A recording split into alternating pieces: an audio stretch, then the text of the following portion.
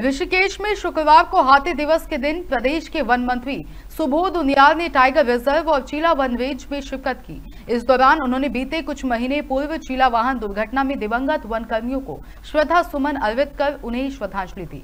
इसके साथ ही उन्होंने दिवंगत कर्मियों की स्मृति में नामित वन मोटर मार्गों के शिलापटों के अनावरण कर उनके परिजनों को भी सम्मानित किया।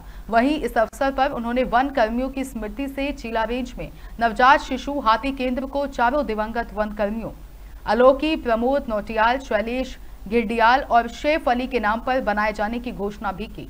ऋषिकेश से महेश पवार की रिपोर्ट।